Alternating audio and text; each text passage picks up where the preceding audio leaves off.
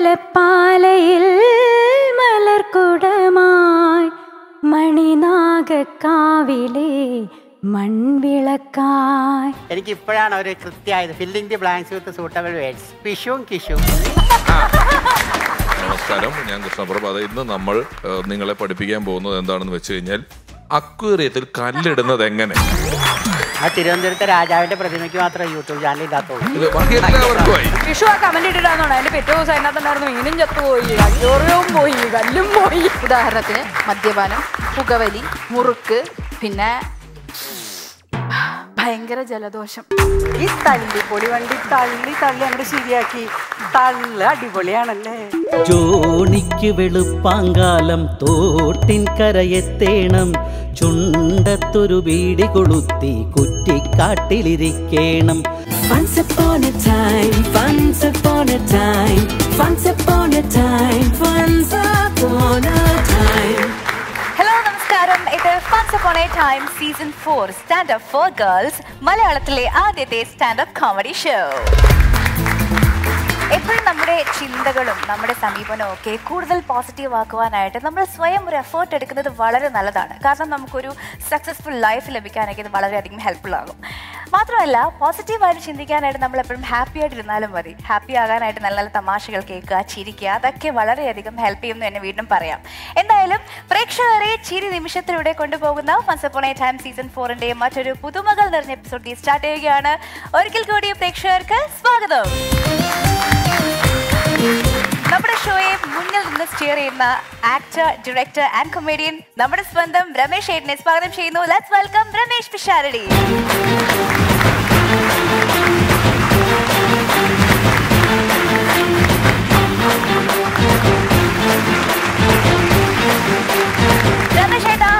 Welcome നമ്മുടെ എല്ലാ ഓരോ എപ്പിസോഡുകളും നമ്മൾ ഓരോരോ പുതിയ പുതിയ കാര്യങ്ങൾ കൊണ്ടുവരുമെങ്കിലും ഇന്ന് ഞാൻ പറയും ഇന്നൊരു ബ്രാൻഡ് ന്യൂ എപ്പിസോഡാണെന്ന് എല്ലാ എപ്പിസോഡുകളും ബ്രാൻഡ് ന്യൂ ആയിരിക്കുമല്ലോ. ഏത് സാധനം നിങ്ങളൊരു സോപ്പ് മേടിച്ചാൽ അതിൽ ന്യൂ എന്ന് എഴുതിയിട്ടുണ്ടാവും ഷാമ്പു മേടിച്ചാൽ ന്യൂ എന്ന് എഴുതിയിട്ടുണ്ടാവും.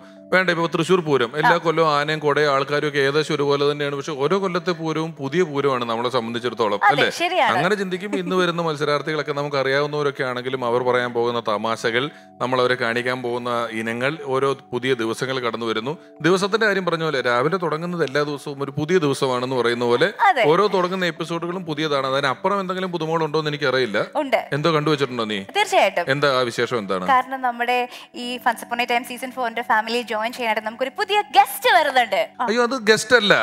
നമ്മുടെ കുടുംബാംഗമാണ് നമ്മളോടൊപ്പം സ്ഥിരം വന്നിട്ടുള്ളതാണ് മുൻപൊരിക്കൽ ഇവിടെ എത്തിയിട്ടുള്ളതാണ് ഒരുപാട് ഒരുപാട് സിനിമകൾ ചെയ്തിട്ടുള്ള ഒരാളാണ്. ഞാൻ ആദ്യമായിട്ട് കാണുമ്പോൾ ഡാൻസർ ആണ്. പിന്നെ കുറെ കാലം ഹ്യൂമർ കൈകാര്യം ചെയ്തു സ്റ്റേജിൽ പിന്നെ സിനിമയിലെത്തി. സിനിമയിൽ മികച്ച ഒരുപാട് വേഷങ്ങൾ ചെയ്തിട്ടുണ്ട്. ഒരുപാട് സിനിമകളുടെ ഭാഗമായിട്ടുണ്ട്. എപ്പോഴും ചിരിച്ച മുഖത്തോടെ നമ്മൾ കാണുന്ന നമ്മുടെ പ്രിയപ്പെട്ട സുഹൃത്തും ചലച്ചിത്ര നടി നർത്തകി തുടങ്ങിയ നിരവധി മേഖലകളിലൂടെ നമുക്ക് പ്രിയപ്പെട്ട അഭിനേത്രിയാണ്. ഹൃദയപൂർവം ഫൺസമാണ് ടൈമിലേക്ക് സ്വാഗതം ചെയ്യുന്നു പ്രിയപ്പെട്ട കൃഷ്ണപ്രഭ.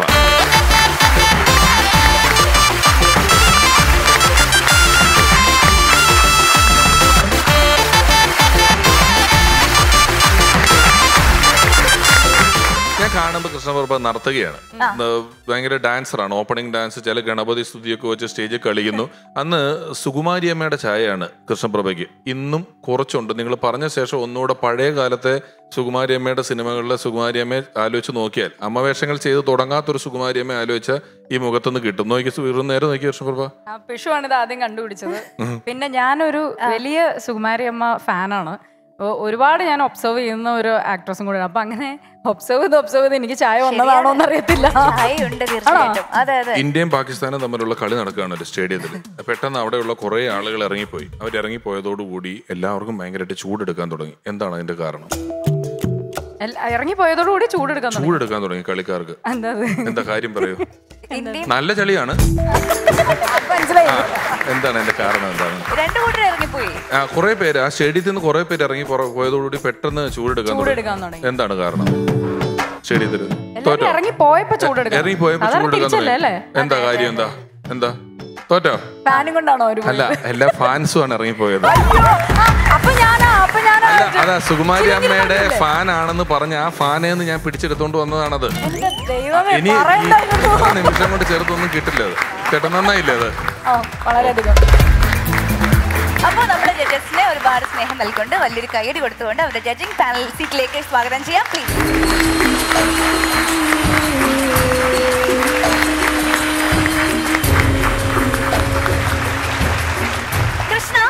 ഓൾറെഡി അറിഞ്ഞിട്ടുണ്ടാകും അല്ലെങ്കിൽ നമ്മുടെ ഷോയിൽ കണ്ടിട്ടുണ്ടായിരിക്കും. ഞാൻ എന്റെ സ്വന്തം കുടുംബത്തിൽ നിന്ന് ഒരാളെ ഈ ഷോയിലേക്ക് കൊണ്ടുവന്നിട്ടുണ്ട്.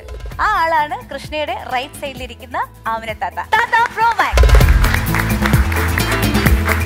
അമിനാത്തത് വർഷങ്ങളായിട്ട് പരിചയമുള്ളതാണ്. നിങ്ങൾക്ക് പരിചയമുണ്ട്? പിന്നെ. ആണോ? അല്ലേ? അല്ല താത്തേനെ എന്നറിയാം. അതെ. ഞാനിവിടെ നിന്ന് നോക്കുമ്പോഴേ എനിക്ക് ഇപ്പോഴാണ് ഒരു കൃത്യമായത്. Filling the blanks with suitable words എന്തുപറ്റി? അതായത് ഈ പിഷുവും കിഷുവും അപ്പൊ അങ്ങനെ നമുക്ക് വേണമെങ്കിൽ ടൈറ്റ് കൊടുക്കാം. കിഷും കിഷും കൊള്ളാം അല്ലേ? ആ. കൃഷ്ണപ്രഭ യൂട്യൂബ് ചാനൽ തുടങ്ങിയതിനെ പറ്റി ഞാൻ പറഞ്ഞിട്ടുണ്ടല്ലോ അല്ലേ? അതായത് ഈ കോവിഡ് വന്നപ്പം യൂട്യൂബ് ചാനലിന്റെ ട്രെൻഡ് വന്നു. എല്ലാവരും യൂട്യൂബ് ചാനൽ തുടങ്ങുക. വാട്സപ്പ് തുറന്ന ലൈക്ക് ചെയ്യൂ ഷെയർ ചെയ്യൂ. എന്റെ പുതിയ യൂട്യൂബ് ചാനൽ തുടങ്ങി എന്ന് പറഞ്ഞാൽ എല്ലാവരും യൂട്യൂബിൽ തുടങ്ങുന്നു. ആ തിരുവനന്തപുരത്തെ രാജാവിന്റെ പ്രതിമയ്ക്ക് മാത്രമേ യൂട്യൂബ് ചാനൽ ഇല്ലാത്തുള്ളൂ. ഇത് ബാക്കി എല്ലാവർക്കുമായി. അങ്ങനെ ഈ കോവിഡ് അതിന്റെ ഉച്ചസ്ഥായി നിൽക്കുമ്പോൾ കൃഷ്ണപ്രഭയുടെ ഒരു മെസ്സേജ്. ചേട്ടൻ എന്റെ ഒരു യൂട്യൂബ് ചാനൽ തുടങ്ങി ചേട്ടൻ ഷെയർ ചെയ്യണം. അതിന്റെ ആദ്യത്തെ വീഡിയോ നാളെ ആറു മണിക്ക് വരും എന്നൊക്കെ പറഞ്ഞ് ഞാൻ കാത്തിരുന്ന പിറ്റേന്ന് ആറ് മണിക്ക് കൃഷ്ണപ്രഭയുടെ യൂട്യൂബ് ചാനലിലെ ആദ്യത്തെ വീഡിയോ വന്നു. നമസ്കാരം. ഞാൻ കൃഷ്ണപ്രഭ. അത് ഇന്ന് നമ്മൾ നിങ്ങളെ പഠിപ്പിക്കാൻ പോകുന്നത് എന്താണെന്ന് വെച്ച് കഴിഞ്ഞാൽ അക്വേറിയത്തിൽ കല്ലിടുന്നത് എങ്ങനെ? അക്വേറിയത്തിൽ കല്ലിടാൻ ഒന്നുമില്ല എടുത്തിട്ടാ മതി. ഇത് കൃഷ്ണപ്രഭ ഒരു അക്വേറി എടുത്ത് വെച്ച് അതിൽ രണ്ട് കപ്പ് വെള്ളം ഒഴിച്ചിട്ട് വെള്ളാരം കല്ലെടുത്ത് നേരത്തെ അരമണിക്കൂറിന്റെ എപ്പിസോഡ്. പിന്നെ അടുത്ത വെള്ളാരം കല്ലെടുക്കുക നമ്മൾ അതിൽ വെക്കുക. പിന്നെ കല്ലെടുക്കുക വെക്കുക കല്ലെടുക്കുക വെക്കുക കല്ലെടുക്കുക വെക്കുക. അര മണിക്കൂറിന്റെ എപ്പിസോഡ്. പക്ഷെ ഞാൻ ഒരു കാര്യം പറയട്ടെ. വിഷു ആ കമന്റ് ഇട്ടിട്ടാന്നോണ്ട് അതിന്റെ പിറ്റേ ദിവസം അതിനകത്തുണ്ടായിരുന്നു മീനും ചത്തുപോയി. അയ്യോറിയവും പോയി കല്ലും പോയി എല്ലാം പോയി. അവസാനം ഞാൻ ആ നിർത്തി. അതിനൊക്കെ ഒരു ലക്ഷം വ്യൂവേഴ്സ്. ബാക്കിയുള്ളവൻ കഷ്ടപ്പെട്ട് കോമഡി ഇട്ട് കഴിഞ്ഞാൽ പോയി ചത്തൂടെ നമുക്ക് എല്ലാവർക്കും അറിയാം കൃഷ്ണ നന്നായിട്ട് പാടുന്ന ഒരാൾ. നമുക്ക് വേണ്ടി ഒരു പാട്ട്. ഇപ്പൊ. എനിക്ക് ഒത്തിരി ഇഷ്ടമുള്ള ഒരു പാട്ടാണ്. ഈ പുഴയും കടന്ന് എന്ന സിനിമയിലെ ജോൺസൺ മാഷ് സംഗീതം കൊടുത്തിട്ട് ഗിരീഷ് പുത്തഞ്ചേരി സാറ് എഴുതിയ രാത്തിങ്കൾ പൂത്താലി ചാർത്തി എന്ന് പറയുന്നത് അല്ല എല്ലാവർക്കും ഒരേപോലെ ഇഷ്ടമായിരിക്കും. അപ്പൊ അതിൽ കുറച്ച് പാട്ട് ഒരു നാല് വരി. പാഴിരുൾ വീഴുമേ നാലു നാലുകെട്ടിൽ നിന്റെ പാദങ്ങൾ തൊട്ടപ്പോൾ പൗർണമിയാ.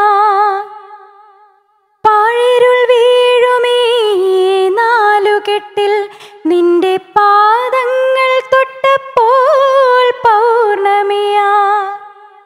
നോവുകൾ മാറാല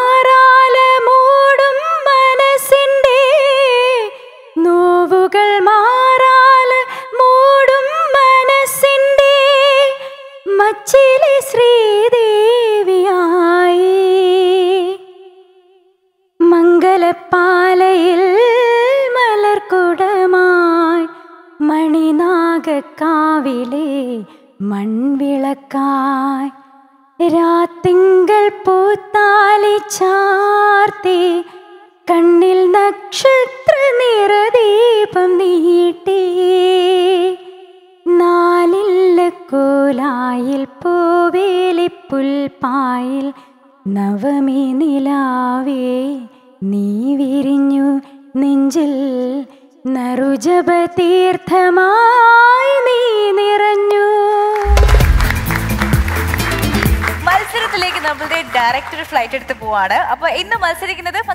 സീസൺ ഫോറിലെ തന്നെ രണ്ട് വെരി സ്ട്രോങ് കണ്ടസ്റ്റൻസ് ആണ്. നമുക്ക് ഈ വേദിയിലേക്ക് സ്വാഗതം ചെയ്യാം ലിയ അൻഷാദ് ആൻഡ് സോഫി പോളി.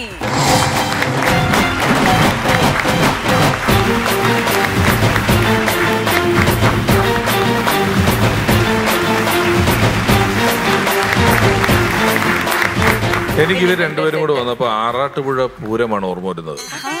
അന്ന് രണ്ട് ആനകൾ തമ്മിൽ കൊമ്പ് കോർത്തു. അങ്ങോട്ടോ ഇങ്ങോട്ടോ. എന്ന് പറഞ്ഞ പോലെയാണ് ഇന്ന് രണ്ട് ആനകൾ വന്നിരിക്കുകയാണ്. ഇവർ കൊമ്പ് കോർക്കാൻ പോവാണ് നമ്മുടെ ജനസമക്ഷത്തിൽ വെച്ച്.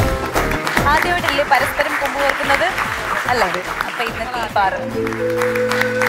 എനിക്ക് പെട്ടെന്ന് ആന്റിയെ കണ്ടപ്പോ നമ്മുടെ ആലീസ് ആന്റി ഇല്ലേ? ഇന്നസെന്റ് അങ്കിളിന്റെ ആലീസ് ആന്റിയുടെ പോലെ വളരെ പറയുന്നവരുണ്ട് ഒരുപാട് പേരുണ്ട് അങ്ങനെ ആലീസ് ആന്റി വളരെ സ്നേഹനിധിയായിട്ടുള്ള ഒരു ആന്റിയാണ്. എനിക്ക് അതേപോലെ തന്നെ തോന്നുന്നു. അപ്പൊ എന്തായാലും കിടലൻ പെർഫോമൻസ് എല്ലാം കാഴ്ചവെക്കാൻ സാധിക്കട്ടെ.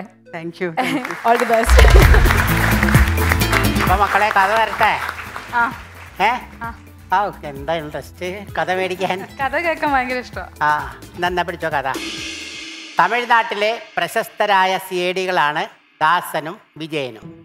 ഒരു കേസന്വേഷണത്തിന്റെ ഭാഗമായി അവർ കേരളത്തിലെത്തുന്നു. കുറ്റവാളിയെ കണ്ടെത്താൻ അവർ കുട നന്നാക്കുന്നവരുടെ വേഷത്തിൽ നടക്കുന്നു. ഒടുവിൽ കുറ്റവാളി എന്ന് സംശയിക്കുന്ന ആളുടെ വീട്ടിൽ ജോലിക്കാരനായി വേഷം മാറി അവരിൽ ഒരാൾ കയറുന്നു. ആ വീടിന് തൊട്ടടുത്ത് ഷൂട്ടിങ്ങുമായി ബന്ധപ്പെട്ട് സിനിമാ നടി യമുന റാണി താമസിക്കാൻ വരുന്നു. യമുനയെ അടുത്തു കാണാനും പരിചയപ്പെടാനും അവർക്ക് അതിയായ മോഹമുണ്ടായിരുന്നു. പക്ഷേ അവരുടെ ഭാര്യമാർക്ക് അതിഷ്ടമായിരുന്നില്ല. ഭർത്താക്കന്മാർക്ക് യമുന റാണിയോട് പ്രണയമാണെന്ന് അവർ തെറ്റിദ്ധരിച്ചിരുന്നു. പക്ഷേ മീനാക്ഷിക്ക് പ്രണയം കണ്ണപ്പനോടായിരുന്നു. എന്നാൽ ദാസപ്പൻ ഇതറിയാതെ മീനാക്ഷിയെ പ്രണയിച്ചു. ഈ കൺഫ്യൂഷൻ എല്ലാം അറിഞ്ഞിട്ടും ശത്രുവിന് അവരുടെ സഹോദരിയായ ദേവൂട്ടിയോട് പ്രണയം. എന്നാൽ മുത്തുരാമന് ആരാണ് കണ്ണപ്പേട്ടൻ ആരാണ് ദാസപ്പേട്ടൻ ആരാണ് ജോസപ്പേട്ടൻ എന്ന കൺഫ്യൂഷനാണ് ശരിക്കും വളരെ പോപ്പുലർ ആയിട്ടുള്ള മൂവീസ് ആണ്. കിട്ടിയോ? പക്ഷെ പേര് ഓർമ്മയില്ല. ആഹാ. എന്തോ? കിട്ടി പേര് ഓർമ്മയില്ല. മനസ്സിലായി. പെട്ടെന്ന് പേര് കിട്ടുന്നില്ല. പക്ഷെ ആലിജന്റ് കിട്ടിയിട്ടുണ്ട് അല്ലേ? പട്ടണപ്രവേശം. ആ.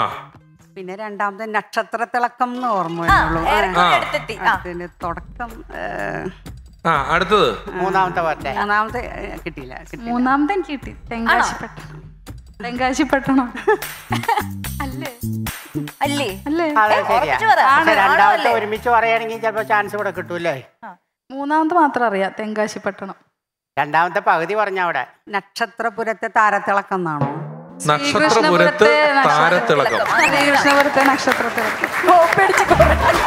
അപ്പൊ നമ്മുടെ സിനിമ കഥ പറഞ്ഞതിൽ രണ്ട് പേരുകൾ ഏകദേശം കൊപ്പിച്ചത് ഒപ്പിച്ചത് നമ്മുടെ സോഫി ചേച്ചിയാണ്. അപ്പൊ സോഫി ചേച്ചിനെ തന്നെ ഫസ്റ്റ് ചാൻസ് അല്ല ശരിക്കും പേര് കിട്ടിയോ? രണ്ടാമത്തെ? ശ്രീകൃഷ്ണപുരത്തെ നക്ഷത്ര. നക്ഷത്രം. ഉം. നക്ഷത്രം. നക്ഷത്ര തിളക്കം സോഫി ചേച്ചി അപ്പൊ ഈ സെഗ്മെന്റ് കഴിയുമ്പോൾ രണ്ട് ശരി ഉത്തരങ്ങൾ പറഞ്ഞിരിക്കുന്നത് നമ്മുടെ സോഫ്റ്റ് ചേച്ചിയാണ്. ഫാമിംഗ് ഫസ്റ്റ് റെഡി അല്ലേ? അതെ. Okay okay. റെഡിയാണ് റെഡിയാണ് റെഡിയാണ് ശരി.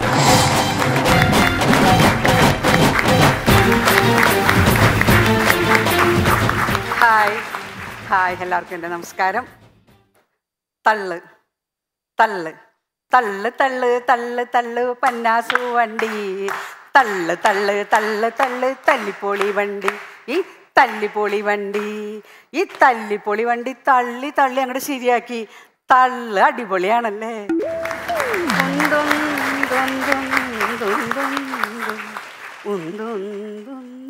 ആളെ ഉണ്ട് ആളെ ഉണ്ട് എന്ന് കളി പറഞ്ഞു കൊടുത്തുകൊണ്ട് താരാട്ടുപാട്ടിലൂടെ ഭർത്താവിനെ ചതുരംഗങ്ങളിൽ വിജയിപ്പിച്ച കഥ എല്ലാവർക്കും അറിയാം അതിലൂടെ കൃഷ്ണഗാഥ എന്ന കാവ്യം ലഭിച്ചു. ഇല്ലേ?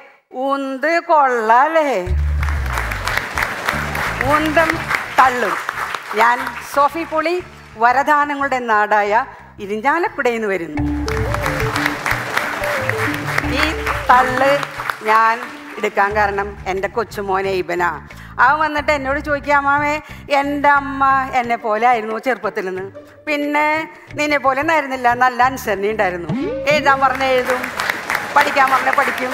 എത്ര മാർക്ക് വാങ്ങി നിന്റെ അമ്മ പാസ്സായെന്നറിയാമോ ഈ ഷെൽഫിലിരിക്കുന്ന ഈ മെഡലും കപ്പൊക്കെ നിന്നെ അമ്മയ്ക്ക് കിട്ടിയതാന്ന് പറഞ്ഞപ്പോ ഓ അമ്മാമ്മയുടെ ഒരു തള്ളണ തള്ളു കണ്ടില്ലേ? എനിക്ക് ഞാൻ എന്റെ മനസ്സിൽ കോറിയിട്ടു അടുത്ത കണ്ടന്റ് എന്റെ തള്ളൽ. അങ്ങനെ ഉന്തും തള്ളും അങ്ങോട്ട് എടുത്തു. ഈ ഉന്തും തള്ളും പലവിധമുണ്ട്. കണ്ണുകൊണ്ട് വായ കൊണ്ട് കൈ കൊണ്ട് ശരീരം കൊണ്ട്. പിന്നെ ദൈവം അനുഗ്രഹിച്ചുന്ന തള്ളൽ അതെല്ലാവർക്കും ഉള്ളതാണ് ഞങ്ങൾ കോളേജിലൊക്കെ പോകാൻ ബസ് കാത്തുക്കുമ്പോൾ കുറച്ച് പൂവാലന്മാരൊക്കെ ഇങ്ങോട്ട് വരും. വന്നിട്ട് നിന്നിട്ട് നീ ഇങ്ങനെ കണ്ണ് തള്ളിയൊരു നോട്ടാ. അപ്പൊ പെൺകുട്ടികൾക്ക് തോന്നുന്നു ഇവർ നോക്കണുണ്ടോന്ന് അറിയണമല്ലോ. അപ്പൊ പെൺകുട്ടികളും ഇങ്ങനെ കണ്ണു തല്ലിയൊരു നോട്ടം. രണ്ടുപേർക്കും സന്തോഷമായി ഇതൊക്കെയായിരുന്നു അന്നത്തെ ബസ് സ്റ്റോപ്പിലെ ചില ചില സംഭവങ്ങൾ ഇന്നിപ്പോ അങ്ങനെയൊന്നും അല്ലല്ലോ. സ്ട്രെയിറ്റ് ആണ്. നേരെ ചെന്നങ്ങ് തള്ളി കൊടുക്കുക അല്ലേ? പിന്നെ ആൻസർ പേപ്പർ കിട്ടുമ്പോൾ ഉള്ള അന്നത്തെ കാലം പോലെ തന്നെ ഇന്നും അല്ലേ? അതിനൊരു മാറ്റം വന്നിട്ടില്ല. ആൻസർ പേപ്പർ കിട്ടുമ്പോൾ എല്ലാവരെയും കണ്ണു തള്ളാറുണ്ട്. അത് ശരിയല്ലേ? പിന്നെ പുഷ് പുള്ള്. പുഷ് എന്ന് വെച്ചാൽ തള്ളാന്നറിയാം. പുള്ളെന്ന് വെച്ചാൽ വലിക്കില്ലാന്നറിയാം പക്ഷെ ഒരു ഹോട്ടലിന്റെ മുന്നിൽ ചെന്ന് നിൽക്കുമ്പോൾ പുഷേണ്ടത് ഏതാ? പുള്ളേണ്ടത് ഏതാന്ന് നമുക്കറിയില്ല. ആകെ കൺഫ്യൂഷൻ ആയിട്ട് അങ്ങ് നിൽക്കും. ഈ ബുഷിന്റെ കാര്യം പറഞ്ഞപ്പോഴാ ഞാൻ അമേരിക്കൻ പ്രസിഡന്റ് ബുഷിന്റെ കാര്യം എനിക്ക് ഓർമ്മ വന്നത്. രണ്ടായിരത്തി ആറിലോ മറ്റോ ആണെന്ന് തോന്നുന്നു ഞാൻ അമേരിക്കയിൽ പോയപ്പോൾ എന്റെ ഫ്രണ്ടിന്റെ വീട്ടിലാണ് താമസിച്ചത്. ഫ്രണ്ട് ബുഷും നെയ്ബേഴ്സായിരുന്നു ആ. ആ കെയർ ഓഫിൽ അവരെന്നെ ഡിന്നറിന് വിളിച്ചു. ഡിന്നറിന് വിളിച്ച് ഓ ഞങ്ങൾ വൈറ്റ് ഹൗസിലേക്ക് അങ്ങോട്ട് ചെന്നു. ഒരു സ്വർഗത്തിൽ ചെന്നിറങ്ങിയ പോലെ ഫീലിങ്ങാ അകത്ത് കിടന്നു.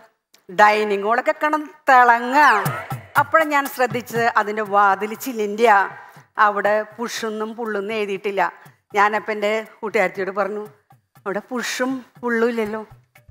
ഇത് കേട്ടപ്പോൾ ബുഷ് വിചാരിച്ച് ബുഷിനെ അന്വേഷിച്ചതാണ് അപ്പോൾ ബുഷ് ഇങ്ങോട്ട് വന്നിട്ട് ഓ welcome welcome welcome I what can I do madam എന്റെ Bush Bush.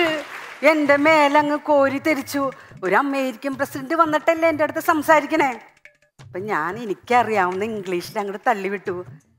There is no push or pull on the door oh that's it.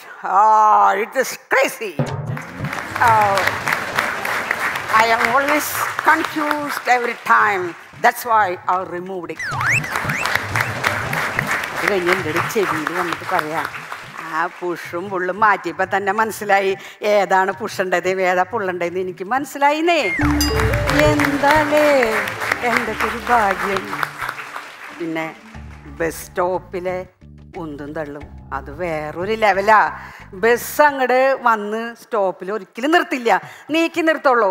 നമ്മളെല്ലാവരും കൂടി ഓടി ബസ്സിലേക്ക് അങ്ങോട്ട് തള്ളി കയറുമ്പോൾ രണ്ടാൾ ഇങ്ങോട്ട് ഇറങ്ങി വരും. ആരും മാറി കൊടുക്കില്ല അവർ ഉന്തിത്തള്ളി ഇറങ്ങും നമ്മൾ ഉന്തി തള്ളി അങ്ങോട്ട് കയറും കയറി കഴിയുമ്പോൾ കണ്ടക്ടർ പറയലുണ്ട് മക്കളെ മുന്നിൽ എത്രയോ സ്ഥലം മുന്നിലേക്ക് കയറിപ്പോ കയറിപ്പോ കയറിപ്പോന്ന് അപ്പൊ അവിടെ നിന്ന് ഒരാൾ വിളിച്ചു പറയാ എന്റെ സാറേ എന്തിനാ ഇങ്ങോട്ട് തള്ളിവിടണേ ഞങ്ങളിപ്പോ പപ്പടക്കെട്ട് പോലെ അടക്കി അടക്കി നിൽക്കണേ ഇനി ആ പെൺപിള്ളേരെ ഇങ്ങോട്ട് തള്ളി വിട്ടിട്ട് ഞങ്ങളെ സ്ത്രീ പീഡനത്തിന് അകത്താക്കല്ലേ സാറേ ഇന്ന് ഞാൻ ഇങ്ങോട്ട് പോന്നപ്പോ എനിക്ക് ബസ്സിൽ ഒരു സ്ഥലം കിട്ടിയില്ല കേട്ടോ. ഞാൻ കമ്പീമ തൂങ്ങി പിടിച്ചെന്ന് നിന്നിരുന്നേ. കുറച്ച് കഴിഞ്ഞ് തിരിഞ്ഞു നോക്കിയപ്പോൾ ഒരു സീറ്റ് ഞാൻ എന്റെ ബാഗൊക്കെ എടുത്തിരിക്കാൻ ചെന്നപ്പോൾ എന്റെ മുന്നിൽ നിന്ന് ഒരു പെങ്കുച്ച് എന്നെ ഉണ്ടി തള്ളിപ്പോയി സീറ്റിൽ നിന്നിട്ട് എന്നോട് പറയാ മോളെ ഞാനൊന്ന് ഇരുന്നോട്ടേന്ന്. എന്റെ മോളുടെ പ്രായമില്ലാതെ എന്നെ മോളേന്ന് വിളിക്കണ്. അപ്പൊ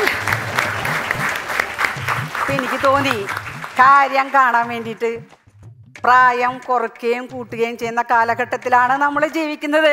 സത്യല്ലേ ഏ? എനിക്ക് തോന്നി ശരിയല്ലേ? ഒരു ചട്ടയും മുണ്ട് സാരിയൊക്കെ കൊടുക്കണ്ട ഞാൻ. ഈ ചുരിദാറൊക്കെ ഇട്ട് മുടിയൊക്കെ കറുപ്പിച്ച് ഇന്നിപ്പോ അതിന് തോന്നിക്കാണും. I am only just twenty five അല്ലേ രമേശ് ചേട്ടാ? പിന്നെ ഇവിടെ എന്റെ കൂടെ ചെയ്യുന്ന എന്റെ ഒപ്പമുള്ള കണ്ടസ്റ്റൻസ് എന്നെ ആന്റീന്ന് വിളിക്കണു ഞാൻ പറഞ്ഞു ശരിയല്ല. ഒരു സെലിബ്രിറ്റീസിനെയും ഇന്ന് വരെ ആരും ആന്റീന്ന് വിളിച്ചിട്ടില്ല. ഒന്നില്ലെങ്കിൽ പേര് അല്ലെങ്കിൽ ചേച്ചി. ആന്റീന്നേ ആന്റീന്ന് ചേർത്തുന്ന അമ്മായിന്ന്. അപ്പോൾ ചിലർ പറയാ അമ്മായി എന്നല്ല ഉറുമ്പിന്നും കൂടി പേരുണ്ടത്. ഉറുമ്പിന്റെ പേര് ആന്റി എന്നല്ലേ പറയുമ്പോ പറയുമ്പോൾ അത് ഉറുമ്പിയായില്ലേ? ഞാൻ ഞാൻ ഇനിയിപ്പോ എന്നെ എന്ന് വിളിക്കുന്നവരുടെ പേരൊന്നും ഞാൻ ഇവിടെ പറയണില്ല. ഇനി ആ ദേഷ്യത്തിൽ അവരെന്നെ മുത്തശ്ശിന്ന് വിളിച്ചാലോ? അത് കേൾക്കാനുള്ള ശക്തി എനിക്കില്ല ബെഞ്ചിലെ ഉന്തും തള്ളും. അത് ആസ്വദിക്കാത്തവരാരും ഇല്ല അല്ലേ? ബെഞ്ചിൽ എല്ലാവരും ഇരുന്നിട്ട് ഉന്തി തല്ലി കളിച്ചിട്ടുണ്ട്. ഞാൻ മൂന്നിലും നാലിലും പഠിക്കുന്നതെന്ന് എനിക്ക് ഓർമ്മയുണ്ട് കേട്ടോ ഞാൻ കുറേ ഉന്തി തല്ലി കുറേ പേരിട്ടിട്ടുണ്ട് എന്റെ ഒരു ഫ്രണ്ട് ഉണ്ടായിരുന്നു ആമിന. നല്ല ഉന്തം തള്ളായിരുന്നു. എന്റെ അങ്ങ് തള്ളിയിട്ടിട്ടുണ്ട് ഞാനും തള്ളിയിട്ടുണ്ട്. ഒരു ദിവസം ഞാൻ തള്ളിയിട്ടപ്പോൾ ആൾക്ക് വേദനിച്ചു. അടുത്ത ക്ലാസ്സിലെ ഫ്രണ്ട് ബീരാനോട് ചെന്ന് പറഞ്ഞേക്കണു. ബീരാൻ വന്ന് എന്നെ വഴക്ക് പറഞ്ഞു അപ്പൊ ഞാൻ പറഞ്ഞു ഇനി മേലാൽ ബീരാനോട് പറഞ്ഞിട്ടുണ്ടെങ്കിൽ മറ്റേ കാര്യം ഞാൻ ബീരാനോട് പറഞ്ഞു കൊടുക്കും. ആമിനത്താത്തക്ക് ഇപ്പൊ അതൊക്കെ ഓർമ്മയുണ്ടോന്ന് എനിക്കറിയില്ല. എനിക്കിതൊക്കെ ഓർമ്മയുണ്ട്. കാരണം ആളിപ്പോ വലിയ പൊസിഷനിലൊക്കെ അല്ലേ ഇരിക്കണേ? നേതാക്കന്മാരുടെ തള്ളൽ. അതൊരുപടി തള്ളൽ ഇനിയാണല്ലേ? ആ തള്ളലൊക്കെ കേൾക്കുമ്പോ നമുക്ക് ഒരു കുളിർമ. ഒരു ആകാംക്ഷ ഒരു ജിജ്ഞാസ നമ്മൾ ഏതോ ഒരു ലോകത്തേക്ക് പോണ പോലെ തോന്നും അല്ലേ? നമുക്ക് നല്ലൊരു സെറ്റപ്പ് ജീവിതം അങ്ങോട്ട് കിട്ടാൻ പോണ്. അത് ഓർത്തിട്ട് നമ്മൾ തള്ളി തള്ളി നമ്മുടെ ജീവിതം നിൽക്കുമ്പോൾ നമ്മുടെ രാജ്യം തള്ളി തള്ളിയൊക്കെ പോവും. തള്ളൽ നല്ലതാ. പിന്നെ വില കുറവ് ഈ വില കുറഞ്ഞ സാധനം കൂടിയ സാധനം ഇന്ന് കുറയോ നാളെ കുറയും മറ്റന്നാൾ കുറയും അങ്ങോട്ട് ചിന്തിച്ച് ചിന്തിച്ചേ പട്ടിണി കിടത്താനും നമ്മൾ മുന്നോട്ട് പോകും കുറേ പട്ടിണി എടുക്കുമ്പോൾ നമുക്ക് തോന്നും ഓ ശരി. ഇച്ചിരി ദേഹക്കനങ്ങാതെ കുറച്ച് കാശൊക്കെ സമ്പാദിക്കുന്ന ഒരു ജോലി അല്ലെങ്കിൽ ഒരു ബിസിനസ് തുടങ്ങാമെന്നൊക്കെ വിചാരിക്കും. തുടങ്ങാൻ വിചാരിക്കുമ്പോഴായിരിക്കും ചില വലിയ വലിയ ആൾക്കാരുടെ വാചകങ്ങളൊക്കെ ഇങ്ങനെ കാണാം. നാർക്കോട്ടിക്സ് ഇസ് എ ഡേറ്റ് ബിസിനസ് അതോടുകൂടി അത് ഉപേക്ഷിക്കും. പിന്നെ പട്ടിണി കിടന്നിട്ടായാലും റേഷനറിയുടെ കഞ്ഞി കുടിച്ചങ്ങോട്ട് ജീവിക്കും. കല്യാണ വീട്ടിലെ തള്ളലാണ്. തള്ളൽ. ഈ വില കുറഞ്ഞ സാധനങ്ങളൊക്കെ വിലയുള്ളതായി തീരുന്ന സ്ഥലമാണ് കല്യാണ വീട് രണ്ടായിരം രൂപയുടെ സാരി അയ്യായിരം അയ്യായിരത്തിന്റെ പതിനായിരം പതിനായിരത്തിന്റെ ഒക്കെ അമ്പതിനായിരം. ഈ കല്യാണ റോൾഡ് ഗോൾഡൊക്കെ ഗോൾഡായി തീരുന്നതും ഈ കല്യാണ വീട്ടിലാണ് കല്യാണത്തിൽ പെണ്ണും ചെക്കന്റെ കല്യാണം നല്ല ഹൈലൈറ്റ്. സദ്യയാണ് സദ്യ.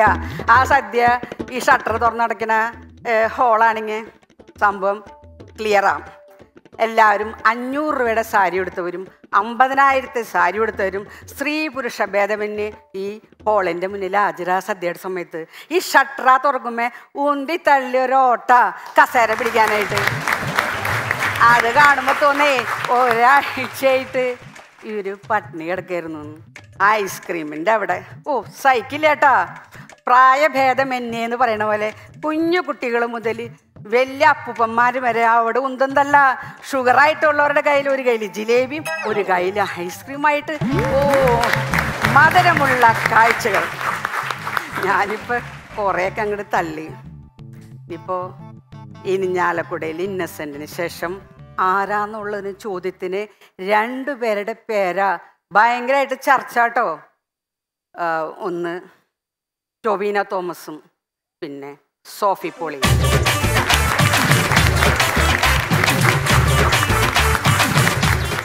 നല്ല എൻഡിങ് പഞ്ചോടുകൂടിയാണ് നിർത്തിയത്. നല്ല അടിപൊളി ചോദ്യമായിരുന്നു കേട്ടാ. നമ്മൾ ചിന്തിക്കുന്നുണ്ട് ഇനി ആരാ? ടോവിനോ തോമസ് ആണോ ഇനി സോഫിയാണോ ടോവിനോ തോറ്റു പോകത്തേ ഉള്ളൂ. തോമസ് ഈ സിനിമയിലെ മിന്നൽ മുരളിയൊക്കെ ആവാം. ഞാൻ ഇരിഞ്ഞാലക്കുടയിൽ ഒരു മിന്നലായിരിക്കാം. മിന്നലാവാൻ പറ്റും. സോഫി ചേച്ചി സൂപ്പർ അല്ലേ സോഫി ചേച്ചി സൂപ്പറാണ്. എനിക്ക് ഇന്ന് സോഫി ചേച്ചി എനിക്ക് ഇത്തിരി ഓർത്ത് പറയുന്നതിന്റെ ഒരു സംഭവം ഉണ്ടല്ലോ. ഞാൻ ഇന്നാൾ അവിടെ പോയിട്ട് എന്നൊക്കെ പറഞ്ഞ് നമ്മളിങ്ങനെ വർത്തമാനം പറയുമ്പോൾ നമ്മൾ ഓർക്കുമല്ലോ കാര്യങ്ങൾ അങ്ങനെ ഈ കഥയിൽ അങ്ങിങ്ങായിട്ട് നല്ലോണം ഇടയ്ക്കിടയ്ക്ക് ഓർക്കുന്നുണ്ടായിരുന്നു. ഓർത്ത് തന്നെയാണ് എല്ലാവരും എല്ലാം പറയുന്നതെങ്കിലും ഓർക്കുന്നു എന്നത് മുന്നിലുള്ളവർക്ക് മനസ്സിലാകാതെ പോകുന്നൊരു ഇനം ഉണ്ടല്ലോ. ആ ഇനം ഇല്ലാതെ പോയി. അപ്പൊ എന്ത് പറ്റിയെന്ന് വെച്ചാൽ ഓർക്കാൻ നമുക്ക് സമയം ആവശ്യമുള്ളത് കൊണ്ട് നമ്മൾ പറയുന്നത് ഇച്ചിരി വലിച്ചു വലിച്ചു വലിച്ചു പറഞ്ഞു.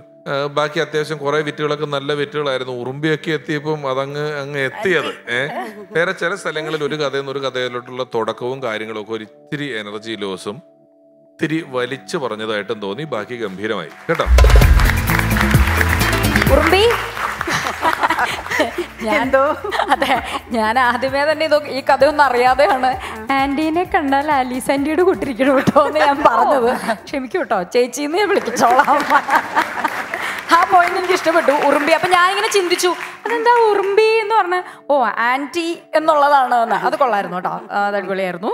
പിന്നെ പിഷു പറഞ്ഞതുപോലെ ഇങ്ങനെ ഓർത്ത് പറയുന്നതായിട്ടുള്ളൊരു ഇത് തോന്നിയിരുന്നു. പക്ഷെ കുഴപ്പമില്ല. എന്തായാലും മാനേജ് ചെയ്തൂല. അതിലാണ്. എനിക്ക് അമ്മമാരൊക്കെ ഇങ്ങനെ വളരെ സ്മാർട്ടായിട്ടിരിക്കുന്ന ഒത്തിരി ഇഷ്ടമുള്ള കാര്യമാണ് അപ്പോൾ അത് ഓർത്ത് പറയുന്ന ആ ഒരു എഫേർട്ട് ഇടുന്നത് തന്നെ അതിനൊരു നല്ല കാര്യം ഇത് എത്രാമത്തെ പെർഫോമൻസ് ആണെന്നറിയാമോ നമ്മൾ ഒരാൾ ഒരെണ്ണം ചെയ്യും രണ്ടെണ്ണം ചെയ്യും അഞ്ചാമത്തെ ആറാമത്തെ എട്ടാമത്തെ എന്നൊക്കെ പറയുമ്പോ ഇങ്ങനെ ഐറ്റങ്ങൾ കൊണ്ടുവരികയാണ്.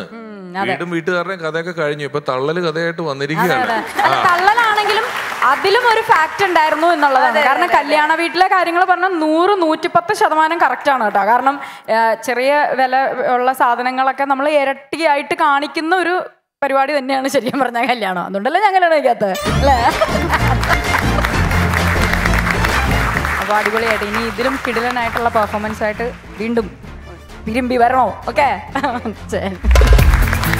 ശരിക്കും സോഫി ചേച്ചിയുടെ മുന്നത്തെ പെർഫോമൻസ് എന്ന് പറഞ്ഞാൽ ഭയങ്കര വെറൈറ്റി ആയിരുന്നു. നമ്പേഴ്സ് വെച്ചിട്ട് ആരും അങ്ങനെ പെർഫോം ചെയ്തിട്ടില്ല ചിന്തിച്ചിട്ടുമില്ല. അങ്ങനെ നമ്പേഴ്സ് വെച്ചിട്ട് ഒരു സ്റ്റാൻഡപ്പ് പെർഫോമൻസ് ആയിരുന്നു കഴിഞ്ഞ പ്രാവശ്യം പുള്ളിക്കാരി ഇവിടെ കാണിച്ചത്. അപ്പോൾ ഇപ്രാവശ്യം അടിപൊളിയായി. ആമിനത്ത അല്ല ഇടയ്ക്ക് ആമിൻ താത്തയ്ക്ക് കിട്ടിയ ഒരു താങ്ങ് താങ്ങിന്ന് തോന്നല്ല ആമിൻ താത്തയുടെ എന്തോ ഒരു കഥ പുറത്ത് പറയുന്ന പറഞ്ഞൊരു ഭീഷണി അതിന്റെ ബിരിയാണിക്കയുടെ ശത്രു കാതിർക്കടേന്ന് നെല്ലിക്ക വാങ്ങിച്ചെന്നില്ലേ? മറന്നുപോയാ? ശരി ശരി. അതൊക്കെ തോണ്ടിയുടെ ഞാനൊന്നും മറന്നിട്ടില്ല. ആ അതൊക്കെ എന്നായാലും നന്നായിരുന്നു. അല്ല രണ്ടായാലും നെല്ലിക്കയാണല്ലോ ഒരു ഇക്കയാണല്ലോ. ചേച്ചി താങ്ക് യു സോ മച്ച് വീണ്ടും കാണാം. നല്ല അടുത്തതായി മത്സരിക്കുവാൻ ലിയ ആൻഡ് അൻഷാദ്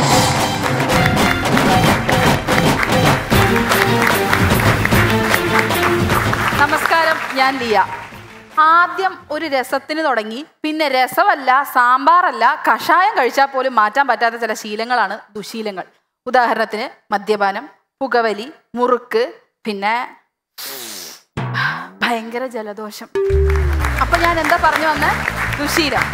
ഈ ശീലവും ദുശീലവും തമ്മിൽ ചെറിയൊരു വ്യത്യാസമുള്ളൂ ഒരു ദു എന്ന വാക്കിന്റെ വ്യത്യാസം. അതായത് കാലത്തെണീറ്റ് നമ്മൾ എന്നും പത്രം നോക്കുന്നത് ശീലം. പക്ഷേ അതിലെ ചരമകോളം മാത്രം നോക്കുന്നത് ഒരു ദുശീലമാണ് അതുപോലെ തന്നെ രാത്രി ഉറക്കത്തിൽ എണീറ്റ് മൂത്രം ഒഴിക്കാൻ പോകുന്നത് ശീലം.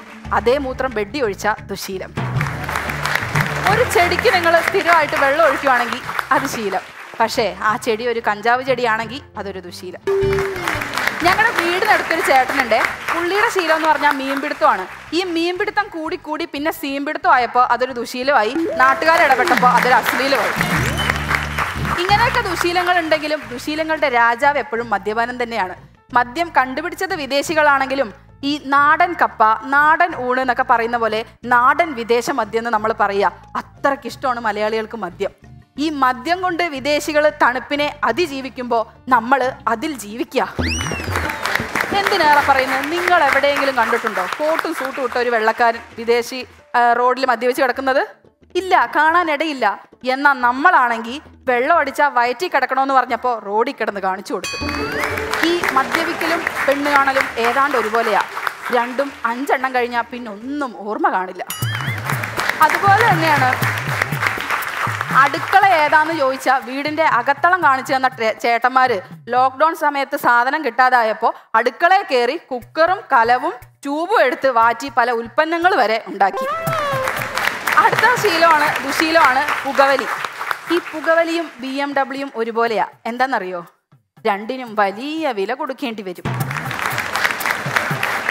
ഈ പുകവലിക്കരുത് പുകവലിക്കരുത് പുക വലിക്കരുത് എന്ന് കൂടുതലായിട്ട് എഴുതി വെച്ചിരിക്കുന്നത് ഞാൻ ശ്രദ്ധിച്ചപ്പോൾ സ്ത്രീകൾ ഇരിക്കുന്ന സ്ഥലത്താ. അപ്പൊ ഞാൻ വിചാരിച്ചു ഒരു ബന്ധമില്ലാണ്ട് എന്തിനാ ഇത് അവർ എഴുതിയിരിക്കുന്നതെന്ന് പിന്നെ ആലോചിച്ചപ്പോഴാണ് മനസ്സിലായത് പുരുഷന്മാരുടെ നോട്ടം എപ്പോഴും സ്ത്രീകൾ ഇരിക്കുന്ന സ്ഥലത്താണ് അതുകൊണ്ടാണ് അവിടെ തന്നെ പുക വലിക്കരുത് പുക വലിക്കരുത് എന്ന് എഴുതി വെച്ചിരിക്കുന്നത്.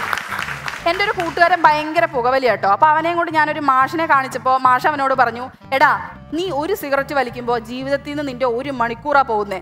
എന്നാ നീ ഒന്ന് ചിരിച്ചു നോക്ക് ജീവിതത്തിൽ നിന്റെ ഒരു മണിക്കൂർ കൂടുമെന്ന് കുറച്ചേരം കഴിഞ്ഞ് ഞാൻ തിരിഞ്ഞു നോക്കിയപ്പോൾ അവൻ ചിരിച്ചോണ്ട് നിന്ന് സിഗരറ്റ് വലിക്കുന്നു. ചോദിച്ചപ്പോൾ പറയാ ബാലൻസ് ചെയ്യണ്ടേ ഇനി ഈ ടിപ്സ് പ്രയോഗിച്ച് ആരെങ്കിലും ചിരിച്ച് പുക വലിച്ച് ആ പുക മണ്ടേ കയറി മേലോട്ട് പോയാൽ ഞാൻ ഉത്തരവാദിയല്ലേ? ഞങ്ങളുടെ നാട്ടിൽ അല്ല നമ്മുടെ നാട്ടിൽ ഈ ദുശീലമൊക്കെ മാറാൻ ഒരു എളുപ്പ വഴിയുണ്ട്. എന്താണെന്നറിയോ ആ ചെറുക്കനെ കൊണ്ട് പെണ്ണ് കെട്ടിക്കുക. പത്തിരുപത്തഞ്ച് വയസ്സ് വരെ അഴിച്ചു വിട്ട കാളയെ പോലെ നടന്ന് വല്ല വൈക്കോലോ പൊല്ലോ തിന്ന് വഴിതെറ്റി പോയതിനെയൊക്കെ നമ്മുടെ തലയിൽ കെട്ടിവെച്ച് തരും. എന്നിട്ട് നമ്മൾ വെറും മൂന്ന് മാസം കൊണ്ട് നിങ്ങളെ നന്നാക്കണം. അല്ല എനിക്ക് അറിയാൻ പാടില്ല എന്ന് ചോദിക്കുക നമ്മൾ എന്താ വല്ല ഡി എഡിക്ഷൻ സെന്ററോ മറ്റോ ആണോ? അതുപോലെ തന്നെയാണ് ഇവന്മാർ പണിക്ക് പോകാതെ അടയ്ക്കാതെ വിട്ട home loan car loan education loan ഇതൊക്കെ നമ്മൾ നമ്മുടെ മാല കമ്മൽ മോതിരം വരെ വിറ്റിട്ട് അടയ്ക്കണം. എന്താ? ഈ കൊച്ചു കേരളത്തിൽ എന്തൊക്കെയാടെ നടക്കുന്നേ? അമേഴ്സിങ് റിയലി അമേഴ്സിങ് ഈ തരം ദുശീലങ്ങളിൽ അടുത്തൊരു ദുശീലമാണ്. വിശ്വാസം നല്ലൊരു ശീലമാണല്ലേ? പക്ഷെ അത് അന്ധവിശ്വാസമായ ദുശീലമാവും. ഞങ്ങളുടെ നാട്ടിൽ വെറും ഒരു ലക്ഷം രൂപ കടമുള്ള ഒരു ചേട്ടൻ ഉണ്ടായിരുന്നു. പുള്ളി ഈ കടം തീരാൻ വേണ്ടി പ്രശ്നം വെച്ച് നോക്കാൻ പോയപ്പോൾ ജോത്സ്യം പറഞ്ഞു നിങ്ങളുടെ വീടാണ് പ്രശ്നം. അതിരിക്കുന്ന ദിശ മാറ്റി ഒന്ന് കിഴക്ക് ദിശയിലോട്ട് പുതുക്കി പണിഞ്ഞു കഴിഞ്ഞാൽ എല്ലാം സെറ്റെന്ന്. സത്യം പറയാലോ. ആ കിഴക്ക് ദിശയിലേക്ക് വീട് പുതുക്കി പണിഞ്ഞപ്പോൾ പുള്ളിയുടെ ഒരു ലക്ഷം രൂപയുടെ കടം മാറി. ഇപ്പോൾ ബാങ്കിൽ നിന്ന് ഹോം ലോൺ ആയിട്ട് ഒരു പതിനഞ്ച് ലക്ഷം രൂപ കടം മാത്രമേ ഉള്ളൂ. അതുപോലെ തന്നെ മൊബൈൽ അതിന്റെ ഉപയോഗം വലിയൊരു ദുശീലമാണ്. കാലത്ത് ഉറങ്ങി എണീക്കുമ്പോൾ ബെഡിൽ സ്വന്തം ഭാര്യയെ കണ്ടില്ലെങ്കിലും കുഴപ്പമില്ല മൊബൈൽ കാണണം. ഈ ഡിജിറ്റൽ ഇന്ത്യ ഡിജിറ്റൽ ഇന്ത്യ എന്ന് പറഞ്ഞപ്പോൾ മൊബൈൽ എടുത്ത് കാലത്ത് ബാത്റൂമിൽ തൊട്ട് തന്നെ ഇവർ ഡിജിറ്റലായി തുടങ്ങി. ഈ മൊബൈൽ നോക്കി നോക്കി സത്യം പറഞ്ഞാൽ കണ്ണും പോയി ഹെഡ്ഫോൺ കുത്തി കുത്തി കാതും പോയി. ഇത് നോക്കുന്ന സമയത്ത് മിണ്ടാതിരിക്കുന്നതുകൊണ്ട് നാക്കിന് മാത്രം വലിയ കുഴപ്പമില്ല. ഈ കുട്ടികൾ ഇതുപോലെ മൊബൈൽ കാണാറുണ്ട് അല്ലേ? അത് കൂടുതൽ കാണുന്നത് കാർട്ടൂണാണ് ഈ കുട്ടികളുടെ കാർട്ടൂൺ കാണുന്ന ദുശീലം ശരിക്കും പറഞ്ഞാൽ അവരെയല്ല ബാധിക്കുന്നത് അവരുടെ അമ്മമാരായ നമ്മളെ കൂടെയാ. കാരണം മുമ്പൊക്കെ എന്നോട് ആലപ്പുഴയ്ക്ക് എങ്ങനെ പോവാന്ന് ആരെങ്കിലും ചോദിച്ചാൽ ഞാൻ പറയും എറണാകുളം അരൂര് വഴി ആലപ്പുഴ എന്ന് പക്ഷെ ഇപ്പൊ ചോദിച്ചാൽ ഞാൻ പറയും എറണാകുളം അരൂര് ആലപ്പുഴയ്ക്കുള്ള ബസ്. നമ്മുടെ ഡോറയുടെ എഫക്റ്റാ ഷോ ഞാനിപ്പോ ഒരുപാട് പേരുടെ ദുശീലം പറഞ്ഞല്ലേ? ഇങ്ങനെ മറ്റുള്ളവരുടെ ദുശീലം ഒരു പൊതുവേദി വന്ന് പറയുന്നതും ഒരു ദുശീലമാണ്. എന്ത് ചെയ്യാനാ? ഞാൻ സത്യം പറഞ്ഞ നല്ലൊരു വ്യക്തിയാ. പക്ഷേ കുറച്ച് ദുശീലം ഉണ്ടെന്നേ ഉള്ളൂ. I am a good person with lots of bad habits thank Liya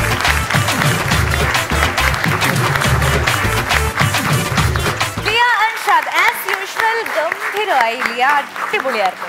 ശരിക്കും ലിയയുടെ സ്ട്രോങ്സ്റ്റ് പോയിന്റ്സ് ഒന്നെന്ന് പറയുന്നത് സ്ക്രിപ്റ്റ് ആണ് പിന്നെ പെർഫോമൻസ് ശരിക്കും ലിയ സ്റ്റാൻഡപ്പിലേക്ക് വന്നില്ലായിരുന്നെങ്കിൽ വലിയ നഷ്ടമായിരുന്നു കേട്ടോ. ഇത് പറയുമ്പോ എനിക്കൊരു കാര്യം ഞാൻ എപ്പോഴും സ്റ്റേജിൽ കയറുമ്പോൾ പറയണമെന്ന് വിചാരിക്കണതാ. എന്നാ ഇന്ന് പറ.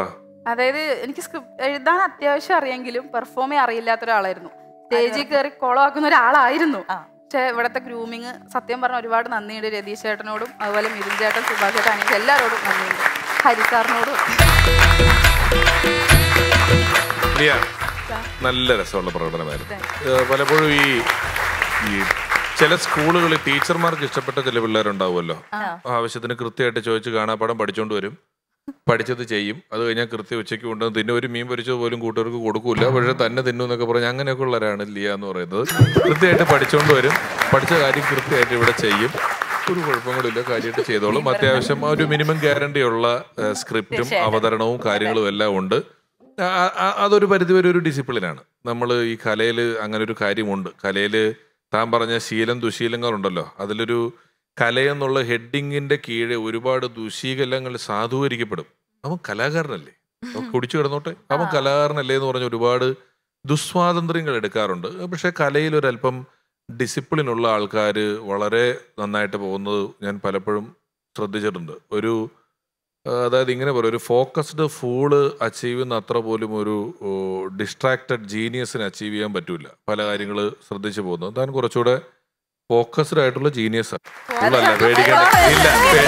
ഞാൻ പറഞ്ഞില്ല. കേട്ടാ? അതുകൊണ്ട് ഗംഭീര പ്രകടനമായിരുന്നു. All the best super. നല്ല കോൺഫിഡന്റ് ആയിരുന്നു. അതാണ് ആദ്യം പറയാനുള്ളത്. വളരെ എന്താ പറയുക ഇപ്പം സ്ക്രിപ്റ്റ് വൈസ് ആണെങ്കിലും എല്ലാം പഠിച്ച് നല്ല ഓർത്ത് വെച്ചാണ് പറഞ്ഞത്. അതൊരു വലിയൊരു കഴിവാണ് കേട്ടോ. ഇതുപോലെ എന്റെ ഒരു അനുഭവം ഉണ്ടായിരുന്നു കേട്ടോ. ഞാൻ സെവൻത്തിൽ പഠിക്കുമ്പോൾ സെവൻത്തിലോ എയ്ത്തിലോ ഒന്ന് പഠിക്കുമ്പോൾ പ്രസംഗം മത്സരത്തിന് സ്കൂളിൽ ഞാൻ സെന്റ് ജോസഫ് കളമശ്ശേരി അവിടെ പഠിച്ചത്. അപ്പൊ ഞാൻ എല്ലായിടത്തും ഇതുപോലെയൊക്കെ എനിക്ക് പറയാൻ പറ്റും എന്നുള്ള എന്റെ അഹങ്കാരം കാരണം ഞാൻ പ്രസംഗത്തിന് പേര് കൊടുത്തു. എല്ലാത്തിനും പേര് കൊടുക്കുമല്ലോ സ്കൂളിലൊക്കെ ആകുമ്പോൾ എന്നിട്ട് ആ ഞാനും. ഈ പഠിക്കുന്ന പിള്ളേരെ അത് കാണിക്കാൻ കൂടെ പ്രസംഗത്തിന് പേര് കൊടുക്കും. ഈ പ്രച്ഛന്ന വേഷം മിമിക്രി മോണാറ്റൊക്കെ മാറ്റി വെച്ചിട്ട് ചില പിള്ളേര് ഉറുദു പദ്യം ചൊല്ലൽ ഏ പ്രസംഗ മത്സരത്തിന് അവരൊരു ഇച്ചിരി അക്കാഡമിക് ആയിട്ട് ഇത്തിരി നല്ലതാന്ന് കാണിക്കാൻ വേണ്ടി കൊടുക്കുന്നത്. അങ്ങനെ കൊടുത്താന്ന് തോന്നുന്നു. ബാക്കി പറ. എന്നിട്ട് അച്ഛൻ എഴുതി നല്ല പഠിപ്പിച്ചൊക്കെയാണ് വീട്ടിൽ നിന്ന് വിട്ടത്. ഞാൻ അങ്ങനെ ഇതുപോലെ ടീച്ചേഴ്സ് നമ്മൾ ടീച്ചേഴ്സ് തന്നെ ആയിരിക്കും സ്കൂൾ കോമ്പറ്റീഷൻ അല്ല അപ്പൊ ടീച്ചേഴ്സ് തന്നെ ആയിരിക്കും ജഡ്ജായിട്ട് ഇരിക്കുന്നതും ഒക്കെ. അപ്പൊ അവരുടെ മുമ്പിൽ ചെന്നു.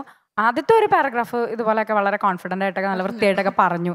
രണ്ടാമത്തെ പാരഗ്രാഫിലേക്ക് കയറിയപ്പോൾ ഫുൾ ബ്ലാങ്ക് ഔട്ട് ആയി പോയി. ഒന്നും ഓർമ്മയില്ല. അവസാനം ഈ പേപ്പർ ചുരുട്ടി ഞാൻ എന്റെ പോക്കറ്റിൽ ഇട്ടിട്ടുണ്ടായിരുന്നു. പിന്നെ ഞാൻ പോക്കറ്റിൽ നിന്ന് ആ പേപ്പർ എടുത്തിട്ട് ഞാൻ വായിച്ചാണ് പ്രസംഗം തീർത്തത്. ഒരു ഉള്ളതിൽ കുറെ എണ്ണം ഉണ്ടെന്നറിയാം ഒരെണ്ണം പറഞ്ഞു ഒരെണ്ണം പറഞ്ഞാൽ മതി. അല്ല ഞാൻ പറയും പിന്നെ ഇവിടെ വലിയ ഇതാവും കേട്ടോ. പെട്ടെന്ന് ഓർമ്മ വരുന്നില്ലാത്തതുകൊണ്ടാണ് താത്തയുടെ എന്താ താത്ത ദുശീലമുള്ളത്? എനിക്ക് അങ്ങനെ ദുശീലങ്ങളൊന്നുമില്ല ഇല്ല എല്ലാം നല്ല ശീലങ്ങളാ. പിന്നെ ഈ കല്യാണത്തിന്റെ കാര്യമൊക്കെ പറഞ്ഞില്ല? ഇടയ്ക്ക് ഇങ്ങനെ കല്യാണത്തിന്റെ കാര്യമൊക്കെ പറഞ്ഞു ഇപ്പൊ ഞാനൊരു ചോദ്യം ചോദിക്കട്ടെ? ഈ പ്രേമിച്ച് കല്യാണം കഴിക്കുന്നതാണോ? അറേഞ്ച്ഡ് മാരേജ് ആണോ നല്ലത്? എന്തായാലും കുഴിച്ചാട്. ചാട് അപ്പൊ ഇപ്പൊ എങ്ങനെ ചാടിയാലും എന്താ? പ്രേമിച്ച് കല്യാണം കഴിക്കുന്നതാണോ? രണ്ടിലും നല്ലതും ചീത്തയുണ്ട്. എന്ന് എന്റെ അഭിപ്രായത്തിൽ പ്രേമിച്ച് കല്യാണം കഴിക്കുന്നതാണ് നല്ലത്. എന്താണെന്നറിയാമോ? എന്താ? അറിയാൻ പാടില്ലാത്ത കാട്ടാളിനേക്കാൾ നല്ലതല്ലേ അറിയാവുന്ന വേട്ടാവളിയൻ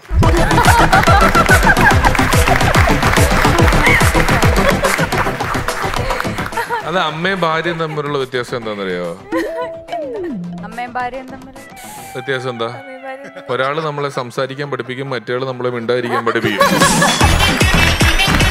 ഞാൻ പണ്ട് ടി വിയുടെ അടുത്തിരുന്ന് കാണുമായിരുന്നു. അങ്ങനെ എനിക്ക് കണ്ട് കണ്ണടിച്ചു പോയി എന്നാണ് പറയാം. എനിക്ക് ഐ പ്രോബ്ലം ഉണ്ട്. അതൊരു ദുശീലായിരുന്നു. ടി വിയുടെ അടുത്ത് നിന്ന് ടി വി കാണുന്ന ദുശീല. എന്നിട്ട് ഇപ്പൊ രണ്ടടി അകലത്തിൽ നിന്ന് എല്ലാരും മൊബൈൽ കണ്ടോണ്ടിരിക്കുക. പണ്ട് ടി വിക്ക് പത്തടി വേണോന്നൊക്കെ പറഞ്ഞിട്ട് രണ്ടടി അകലത്തിൽ മൊബൈൽ കണ്ടോണ്ടിരിക്കുക എല്ലാരും. ഒന്നുമില്ല പെർഫെക്റ്റ് മാൻ സൂപ്പർ മനുഷ്യൻ നല്ല മനുഷ്യൻ. അയ്യോ കിടിലം മനുഷ്യൻ. ഇതുപോലെ ഒരു മനുഷ്യനെ വേറെ കിട്ടില്ല ഇനി. വൺ ആൻഡ് ഓൺലി പെർഫെക്റ്റ് മനുഷ്യൻ. ഒരു ദുശീലങ്ങളും ഇല്ലാത്തൊരു നല്ല മനുഷ്യൻ. ഞാനും അങ്ങനെയാണ്. അല്ല പക്ഷെ എനിക്കിപ്പോ മനസ്സിലായി. അടിസ്ഥാനപരമായി എല്ലാവരുടെയും ദുശീലം എന്ന് പറയുന്നത് നുണ പറച്ചിലാണ്. ഞാൻ നുണയല്ല പറഞ്ഞ. എനിക്കൊന്നും ഒരു ദുശീലം ഇല്ലല്ലോ. ഒയ്യോ ഞാൻ തന്നെ രണ്ടു ദിവസം ഇരുന്ന് ആലോചിച്ചപ്പോ ഒരു ദുശീലം കിട്ടുന്നില്ല. പല്ല് തേക്കൂല. അയ്യേ.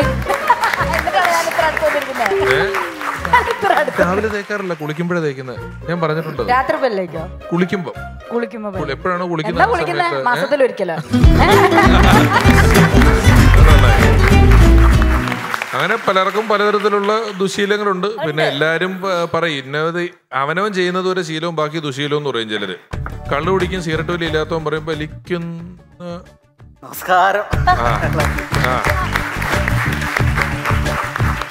ഞാൻ കേട്ടിരുന്നു കേട്ടാ. ആ. നന്നായിരുന്നു ആ. ദുശീലം അല്ലേ? ആ ദുശീലം. വിഷാടെ എന്താ പിന്നെ ഇവിടുത്തെ വിഷയങ്ങൾ നല്ല വിഷയം ഇപ്പൊ നടന്നുകൊണ്ടിരിക്കണോണ്ട് അത് കേട്ടിട്ട് ഞാൻ ഇങ്ങോട്ട് വന്നതാ. ആണല്ലേ? ഏതായാലും വന്ന സ്ഥിതിക്ക് നമുക്ക് അമ്മാവന്റെ അടുത്ത് ചോദിക്കാം. അമ്മാവൻ എന്തൊക്കെയായിരിക്കും ദുശീലങ്ങൾ ഉണ്ടാവാം? നല്ല ചോദ്യം. അതെ. അതാണ് നമുക്കറിയേണ്ടത്. പാടും. അല്ല എന്നാലും വേറെ എന്താണ്? എന്തോ? എന്താണ് ദുശീലം എന്ന് ചോദിച്ചിരിക്കുന്നു? എനിക്ക് വേറൊന്നുമില്ല. എനിക്ക് ഇടയ്ക്കിടയ്ക്ക് ഇങ്ങനെ ചായ കുടിച്ചുകൊണ്ടിരിക്കണം ഇടയ്ക്ക്. സെയിം ബീച്ച് എനിക്കും ഇടയ്ക്കിടയ്ക്ക് ചായ കുടിക്കും. ഇവിടെ ചായ കണ്ടാൽ ഞാൻ അവിടെ ചാടി ഇറങ്ങി ചായ കുടിക്കും. ആണോ? ഇറങ്ങിയിട്ട് ചായ കുടിച്ചിട്ട് പിന്നെ വേണ്ട. പക്ഷെ ഞാനിപ്പോ ഇവിടെ വന്ന് വേറെ ഒന്നുമല്ല ഇവിടെ ദുശീലത്തെ കുറിച്ച് ഒരു ചർച്ച ഇവിടെ കണ്ടിരുന്നു ഞാൻ കേട്ടിരുന്നു. അപ്പൊ അതുമായി ബന്ധപ്പെട്ട് നമ്മുടെ ജോണിക്ക് എന്റെ സുഹൃത്ത് ജോണിയുണ്ട്. ആ. ജോണിക്ക് ഈ പറഞ്ഞ പോലെ ഒരു വലിയൊരു ദുശീലം ഉണ്ടായിരുന്നു. പറയണ്ട വൃത്തിയായിട്ട ശീലമാണ് എനിക്കറിയാം. അയ്യോ അവന്റെ ഇനി അവൻ ഇച്ചിരി പ്രശ്നമാണ് ഓ. അറിയാമോ? നാട്ടിൽ എപ്പോഴും എനിക്കറിയാം അവന്റെ ഇതൊരു അറിയാം. അല്ല ഇത് ഇതല്ല. ജോണിയുടെ ദുശീലം എനിക്കറിയാടോ. പക്ഷെ ഇവർക്കറിയില്ലല്ലോ. ഇല്ല ഒന്ന് പറയാമോ? ഞങ്ങൾക്ക് ആർക്കും അറിയത്തില്ല. അപ്പൊ ജോണിക്ക് എന്നുള്ള ദുശീലം എന്നുള്ള വേറെ ഒന്നുമല്ല അവൻ ടോയ്ലറ്റിൽ പോവാനായിട്ട് എവിടെ ചിന്തിക്കുന്നു? അവിടെ ശൗചാലയം. അയ്യോ. വീട്ടിൽ ടോയ്ലറ്റ് ഉണ്ടെങ്കിൽ അവൻ അവിടെ പോകില്ല അവൻ? വെളിയിലേ പോകും അതിനെപ്പറ്റി ഇപ്പൊ നല്ല ശീലമായിട്ട് പാട്ടുണ്ടാക്കി കൊണ്ട് വന്നു കാണും. ആ. ഞാൻ പറഞ്ഞില്ലേ പാടുന്നത് ശീലമുണ്ട് അപ്പൊ ജോണിയുടെ ആ ഒരു ദുശീലത്തെ കുറിച്ച് ഞാൻ ഇവിടെ ഒരു ശീലി കഴിച്ചു വെക്കാം ഓക്കെ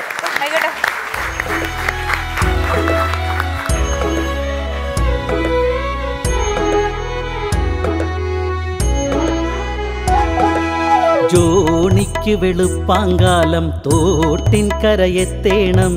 ചുണ്ടത്തൊരു ബീഡി കൊളുത്തി കുറ്റിക്കാട്ടിലിരിക്കേണം.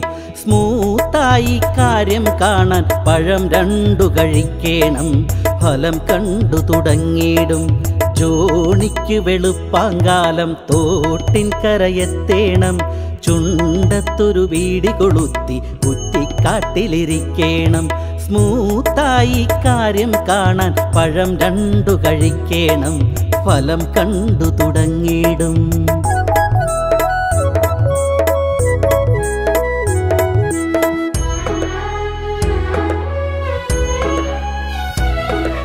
പാൽ വിൽക്കണ സോമന വഴി ചുമ്മാതെ നടക്കുമ്പോൾ കുറ്റിക്കാട്ടിലൊളിച്ചിരിക്കണ ചോണിയെ കണ്ടു പാലു വിൽക്കണ സോമന വഴി ചുമ്മാതെ നടക്കുമ്പോൾ കുറ്റിക്കാട്ടിലൊളിച്ചിരിക്കണ ജോണിയെ കണ്ടു. പഞ്ചായത്തിലപേക്ഷ വെച്ചാൽ വീട്ടിലാകാലോ? No no no.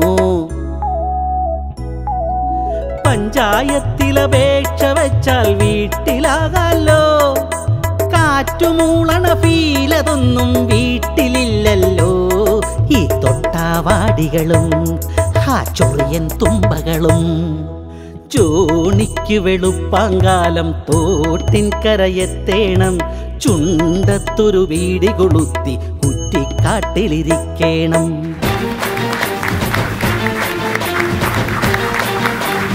Okay getting back to the marks marks അറിഞ്ഞാലോ? Okay തീർച്ചയായും. യെസ് ഇന്നത്തെ പ്രകടനത്തിന് സോഫി ചേച്ചിക്ക് ഞാൻ കൊടുക്കുന്നു നാൽപ്പത്തി ആറ് അൻപതിൽ നാൽപ്പത്തി ആറ് ഉറുമ്പിക്ക് ഞാൻ തരുന്നു നാൽപ്പത്തി അഞ്ച് മാർക്ക്.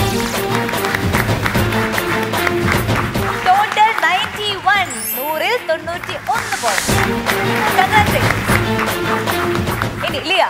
ലിയ അൻഷാദിന് അവരുടെ എല്ലാ ദുശീലങ്ങളും കണക്കാക്കി നാൽപ്പത്തി ഏഴ് മാർക്ക്. ഓക്കെ വെരി ഗുഡ് എനിക്ക് തോന്നുന്നു ദുശീലം പറഞ്ഞിട്ട് മാർക്ക് മേടിക്കുന്ന ആദ്യത്തെ ആൾ ലിയ നാട്ടുകാരുടെ ദുശീലം പറഞ്ഞിട്ടാ ഏ? നാട്ടുകാരുടെ ദുശീലം പറഞ്ഞിട്ടാ ആ എന്നാലും മാർക്ക് കിട്ടിയല്ലോ അത് മതി നാൽപ്പത്തി എട്ട് മാർക്ക് അപ്പോൾ ninety five out of hundred അല്ലേ? അപ്പോൾ ഇന്നത്തെ എപ്പിസോഡിലെ best performer is Liya Anshad Congrats.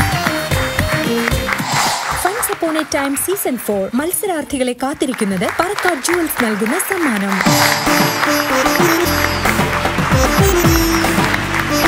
അങ്ങനെ